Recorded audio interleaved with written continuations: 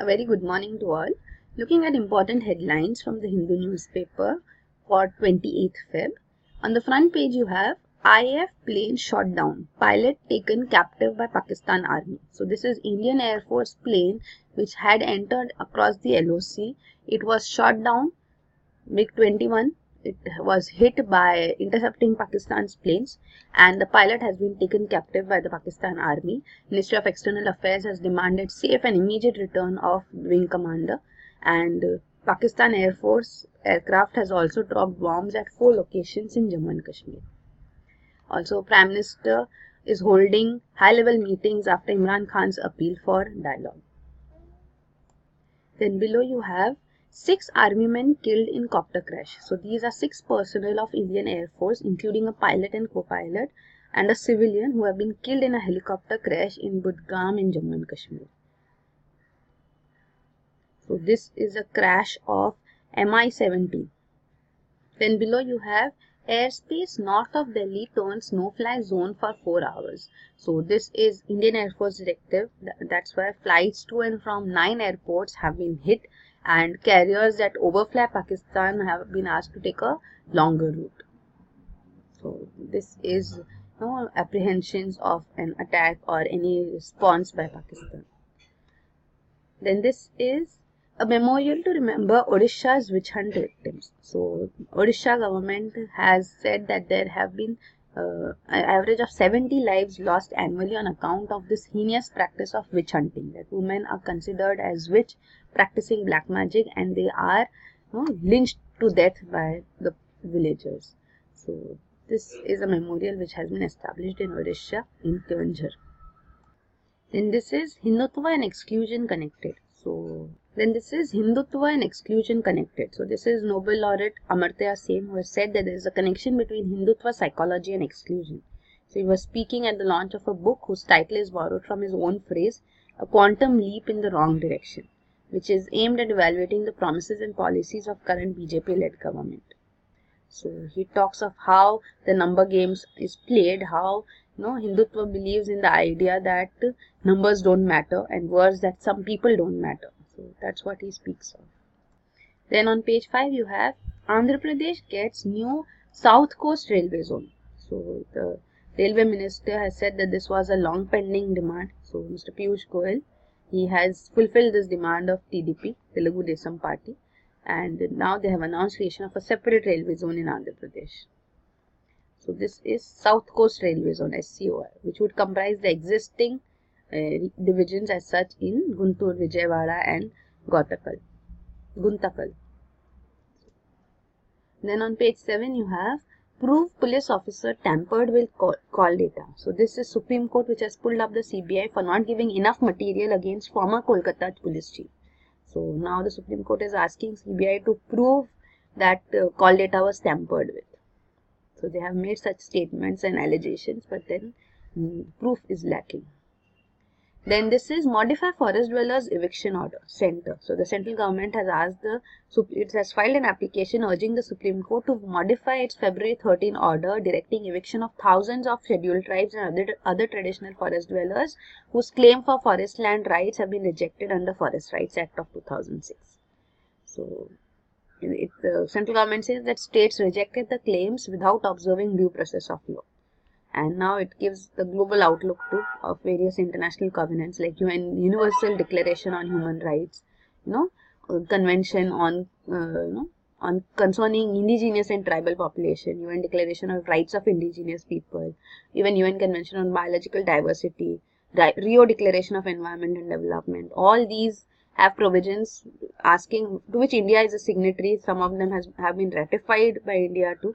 So they all require the government to you know follow to allow the tribals and the in other traditional forest dwellers to be staying in that so region. So there needs to be a modification of the order of the supreme court and this application has been made. On the editorial page the first editorial is calming arunachal. So this is regarding bjp led government in arunachal pradesh which has directed Uh, which has directed not to act on the recommendation of Joint High Power Committee granting permanent resident certificates to non-Arunachal Pradesh scheduled tribes. So this has resulted in a big controversy. We have seen how there were there was violence at Itanagar. So now the editorial speaks of how the polity must foster a civic consciousness to allow equality of opportunity for all residents. So when there were uh, you know these permanent residence certificates being given to some tribes, the others which already have PRC, they came out in protest. So this speaks of that we should allow others to have benefits too. Then this is Buhari's return. So this is regarding Nigerian president's re-election. So in Nigeria in Africa. So it says that this has raised the hopes for economic reforms in the country. The lead article, Think Like a Civilization. So this article speaks of how the biggest casualty of unquestioning enthusiasm for war in democracy is democracy and rational thought. So means that if you don't question raise questions in the enthusiasm for war, then it will be death of democracy and rational thought.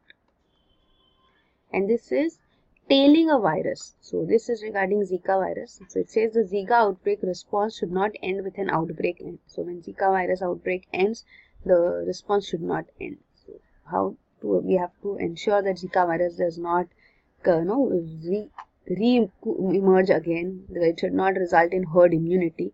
So steps need to be taken. So that is discussed here. On op-ed page you have the vexatious question of Masood Azhar. So this is how India is seeking to name him as a global terrorist at UN Security Council 1267 committee, but the attempts have been thwarted by China. Then this is a patchwork approach to GST problem. So this talks of how the transparency and simplicity in the tax regime have become a casualty of uh, GST Council's decisions. So GST Council keeps on tinkering with the GST, making changes which results in affecting the simplicity and transparency of GST.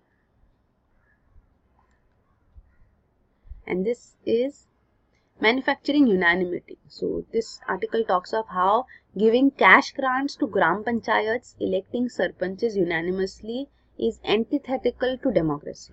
So when sarpanches are elected unanimously and they are given cash grants, then you know or other favors as such, so to get votes, then this is against democracy.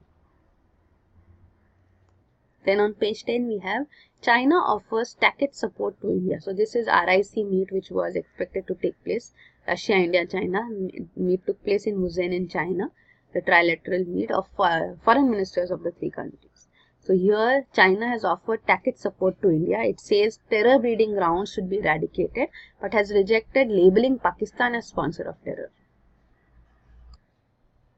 Then there is no important news on international page. On business page, we have poor decisions harming aviation. So this is SpiceJet chairman who points out to the delay in bringing aviation turbine fuel ATF under GST. So this, this delayed decision is also affecting the aviation sector is highlighted by him. Then this is government detects 20,000 crore GST evasion, 10,000 crore recovered. And this is RBI pay norms may make private bank CEOs more accountable. So proposals are there to help improve transparency in banking system. So the norms have been proposed by RBI for compensation of chief executives and board members of private sector banks.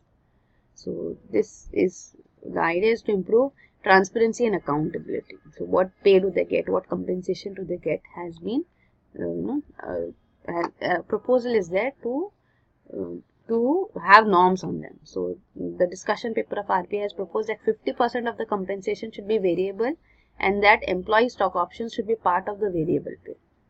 So now RBI is mandating how the pay should be. The new norms propose variable pay to be capped at 200% of fixed pay compared with the 70% now. So this is a proposal by RBI right now. Below you have Center brings 42 non-scheduled cancer drugs under price control. So National Pharmaceutical Pricing Authority has moved this proposal and uh, it may reduce retail prices by up to 85% now. Then this is India delays retaliatory tariff levy on US goods. So India had announced uh, retaliatory tariffs on US goods but its implementation has been further, de uh, further delayed till 1st April. Then on the last page you have Parkinson's drug trial offers glimmer of hope for cell repair. So Parkinson's drug underwent a clinical test. The tests have been results have been disappointing, but brain scans show promising effects. So this has given a glimmer of hope for cell repair for Parkinson's. And below you have China to act against rogue scientists. So this was a scientist who had claimed that he had uh, undertaken gene editing in twins who were born to ensure that they do not contract AIDS. So after this uproar over gene editing, China has drafted new rules to supervise research. So these are the important headlines. For detailed coverage of current affairs, you can visit our website aashah.com in the current affairs section. So here you have the current affairs PDFs uploaded. So you can download the monthly compilations too and daily PDFs also. You can see the entire month's coverage here. Also, you can uh, enroll for a current affairs course where detailed current affairs video lectures are uploaded. So this is the detail of that course and reference videos are also provided. So that is it. Thank you.